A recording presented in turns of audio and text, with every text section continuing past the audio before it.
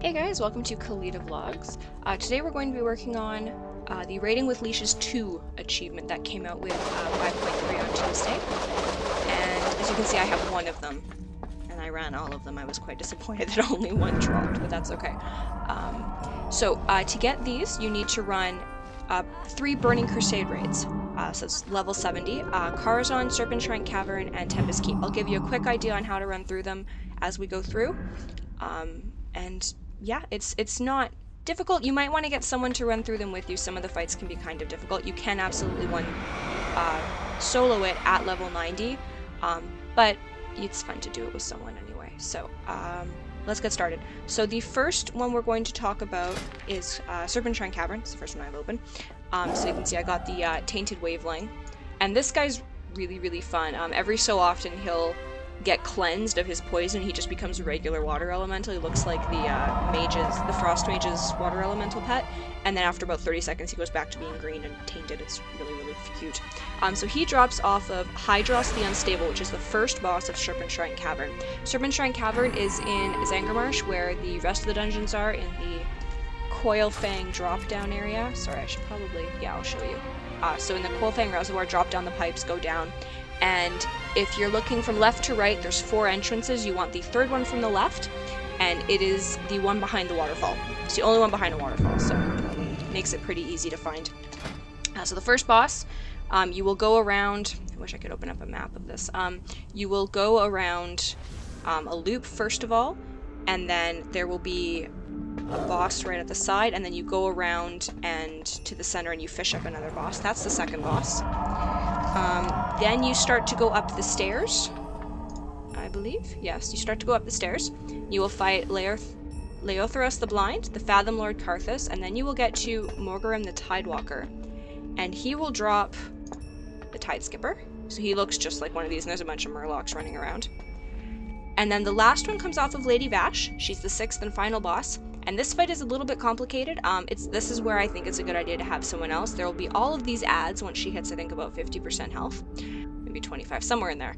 And you have to kill the you have to kill them all without, you know, running out of mana, which can be difficult if you're mana based. Um, and then there's another one that stuns and immobilizes you, and you have to kill him pretty quick but uh, you have to wait for the tainted ones. And once the tainted one dies, they drop an item, and you need to click on the post and get rid of her shield, basically. And once you've killed, I think it's four of them, and you've used the items, um, then you can finish her off. And she drops the Coilfang Stalker, which is one of my favorite pets. I was so excited when they brought one of these into the game. You see these guys wandering around um, Zangarmarsh a lot, and I always thought they were really cute and pretty, and yeah, I'm kind of a dork. Okay, anyway, so that's Serpent Shrine Cavern. Um, the next one we're going to look at is Tempest Keep, um, Tempest Keep is a little bit more difficult, especially the last fight, um, but you don't need to fight the last boss in this. You only need to fight the first three. Uh, you can see, there's four bosses, you and the pets all drop off the first three, so if you don't want to have to finish it, you really don't have to. Um, so, Alar is the first one, and she is a big phoenix, and she drops the Phoenix Hawk hatchling. Once you fight her, you'll pick a side to go down. It doesn't matter which side you go down. Um, and the next one on the list, though, is the Void Reaver. And he drops the Pocket Reaver. And this guy has a silence, so if you are doing this as a caster, be prepared for a very long fight. If you're doing this as melee, you won't have any problems. Um, and the last one is the High Astroma Astromancer Solarian, and she drops void guys. And you'll see you see these guys um, in Tempest Keep and also in the Sunwell Plateau dungeons and areas. So any kind of Blood Elf area tends to have a lot of these guys. Um, so yeah, this this one these ones are pretty simple to get, except like I said, the Pocket Reaver um, he likes to silence um, casters. So I did this with uh, my fiance. He was on his rogue, and it went by pretty quickly. I should mention Car uh, Serpent Shrine I did with my friend who was a druid, and it took the last fight took us a while, but we got it done. And the last one is Karazhan. Now, uh, the Vampiric Batling, uh, you can't get anymore, so that one's not counting. We're just counting these first four. So Karazhan is a fairly long raid. Like, be prepared to spend about an hour doing it at 90. Um, the rest of them take, I would say, under half an hour. Um, so I'm gonna, I'm counting, in terms of bosses, I'm counting, um, I'm not gonna be counting the animal bosses because they're rares and they don't always show up. Um, and they're not mandatory for doing the, the raid, but I am going to count Nightbane in terms of number. So uh, the first pet drops on the fourth boss, which is the Opera event. So how the Opera event works in Karazhan is um, you you know you go you kill the first three bosses, which are all very very simple, and then you go to this stage and you'll get one of three events. One is based on Romeo and Juliet, one is based on The Wizard of Oz, and one is based on Little Red Riding Hood. And this is the one you this is the one that needs to happen in order for you to get the pet. Um, so actually, I will just show you here. So you can see they all will have it. They will all have a chance to drop these, and then you get an extra drop from this one. So the first time I did it, we did actually get Big Bad Wolf, but he didn't. The spiky collar didn't drop, and you will end up getting um, a smaller version of this boss.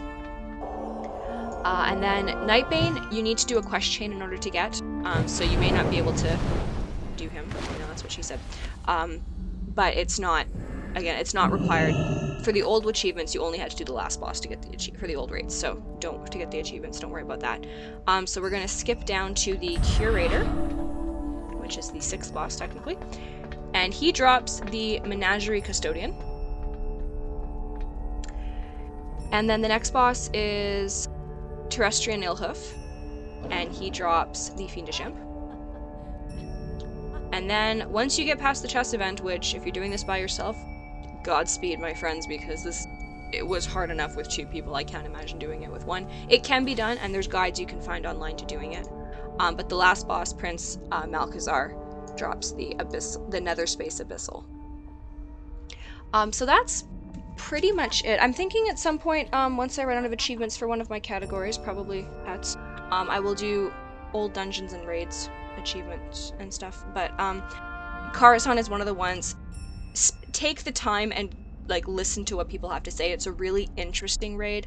Um, the whole premise behind it is just they Blizzard was definitely on the ball when they made this raid. And it's one of my favorites to go back and run. Um, so yeah, hope that was helpful.